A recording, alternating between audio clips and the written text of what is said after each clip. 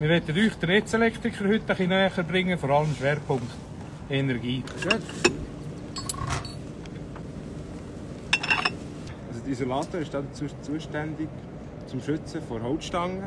Netzelektrik ist ein ziemlich vielseitiger Job. Man muss echt gerne im Team zusammen arbeiten und dann, ja, ist halt immer draußen, wie jedem Wetter. Wo gehen ihr in die Berufsschule? Also wir gehen jetzt in die Berufsschule GIP in Lorraine, das ist Bern. Mhm. Haben wir einmal in der Woche schon.